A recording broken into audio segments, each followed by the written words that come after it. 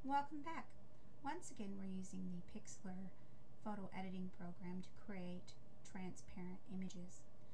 Last time I showed you how to use the magic wand tool, the paint bucket tool, and the color palette to create an image with a transparent background. But unfortunately not all images are as friendly or as easy to work with as the flower that we used in the last tutorial. Some images have a very busy background and it can make it more difficult to select a particular object and just use that. So let's get started. I've already downloaded the images that I want to work with so we're going to choose open image from computer. The image I want to use for this tutorial is cute dog. I'm going to choose that and then click open.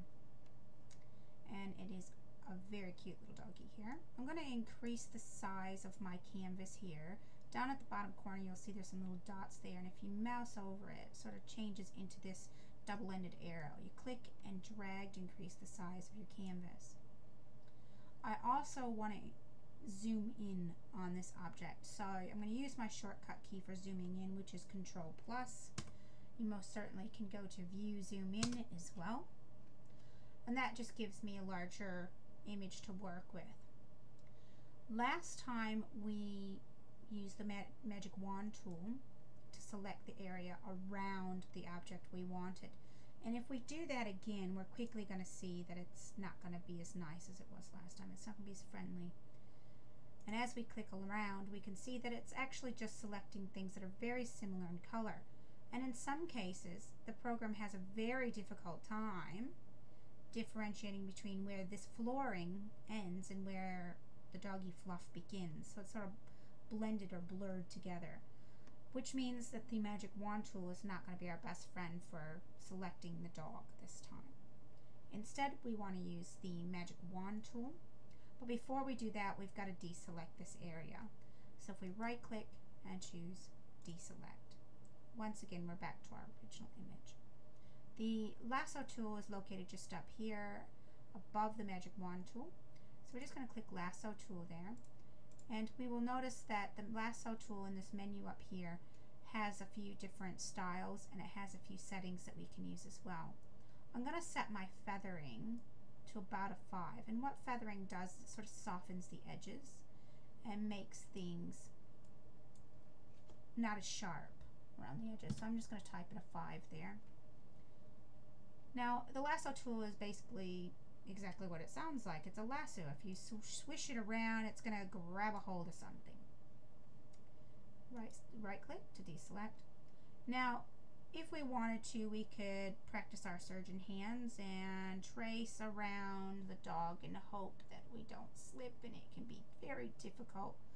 And there we go. I've made a mistake, and that's not what I wanted.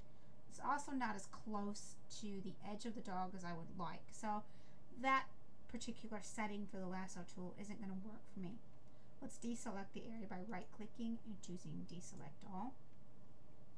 Instead I want to use the polygon setting. So that's right next to it and if we mouse over that you can see that it's going to highlight. I'm going to click on that. And what that does is it allows us to have more control of where the lasso is selecting. So I want to get up sort of the top of this dog here, top of the head, and I'm going to click it to lock the lasso into place to say, okay, now it's time to start selecting. And as you can see, it's not grabbing a hold of anything. I can move it around and it's just, it's not cooperating. That's because you have to click on the next spot that you want it to stick to. So it's kind of like tracing in that sense but you're just clicking at various points or locations. As you go around rounded surfaces, you need to click closer together so that you don't get a big long line like that. So I'm going to be very careful going slowly. It also allows me to decide what parts of the image I want and which ones I don't. In this case, I don't want all this extra floof out the side, so I'm just not going to select that area delicate areas you go nice and slow. Rounded areas click closer together. Alright. So now I just go around the image. It does take a little while to do, but it's definitely worth the effort in the end. Be very careful around that rounded edge there. So just bear with me as I go around. Now once again, I've got a lot of floof here. It's going to be very hard for me to see where that floof begins and ends. And I can understand why the program itself said, wait a minute here, what is this? Is it floor? Is it dog? We don't know what it is. So I'm just going to cut it out of the image. It's irrelevant information. I don't need it. I'm going to go very carefully around the feet down here. Lots of little clicks to make sure that what I get is going to look nice in the end. If you rush it, you're going to wish you hadn't. You're going to end up having to redo it. So do take your time. Alrighty. That's the hard bit done.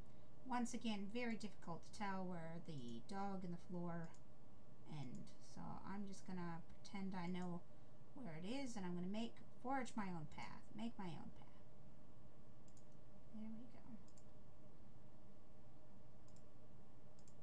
So selecting round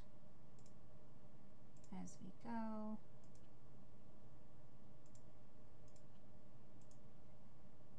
If you do stuff up on one, you can just hit the backspace key and it'll go back to the previous click point. gentle around there. Do a couple clicks around here to get that shape and keep that cute rounded face. This dog will work nicely as a toy or a um, sort of cartoony looking dog for my comics. Okay, we want to get right back up to where we originally clicked. And if we click back on the original spot, it then selects the dog. Before I put this dog into a new canvas, I actually want to edit it a little bit, to change the look and feel of it. In order to do that, I need to use some filters and adjustments. One of the filters that I really like is the Glamour Glow. There's a lot of different ones in here and feel free to play around with them, experiment. I like the Glamour Glow and as you can see it's sort of dark in the image up here. And that's pretty pretty much what I wanted. There are other filter effects that I could use, such as Pixelate, for instance, which is really you know, popular at the moment, the old-fashioned pixelated styles. And I can adjust the sizes of that to determine how many pixels are in the image. I don't really want a pixelized image, but I'm just going to pretend I accidentally clicked OK. Oh no, that's not what I wanted. Panic stations. It's alright, breathe. You can un simply undo that action by going to your history window, just here on the right hand side, and click the last action that you liked. And there goes to Pixelate.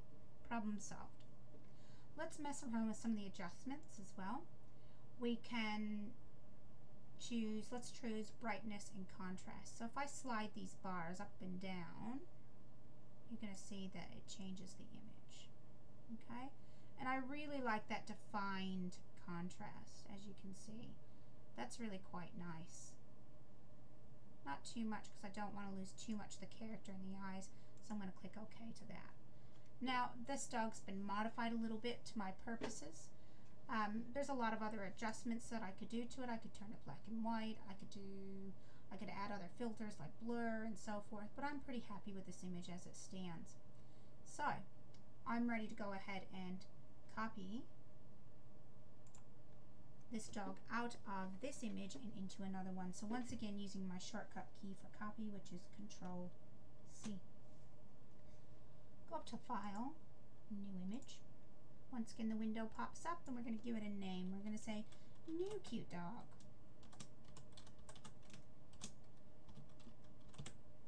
Okay. And I do want a transparent background so I'm going to make sure I tick that as well my transparent background has shown up here and I'm going to paste it in shortcut key control V. There's my cute little dog with a nice transparent background. Go to save. Once again remembering that the JPEG format does not preserve transparency.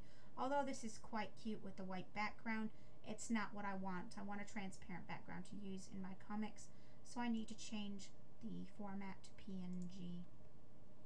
And once again, we can see the checkers mean transparency. Let's click OK.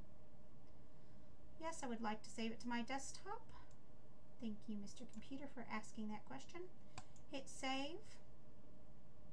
And then we minimize so we can see the difference between the original and the new image there. So my new little cute dog has a nice transparent background. I can use him wherever I want now without interfering with the other images in my project. Once again, thank you very much for visit visiting my site and watching my tutorials. Happy editing!